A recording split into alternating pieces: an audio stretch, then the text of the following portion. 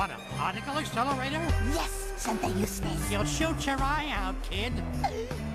Stupid atom smasher.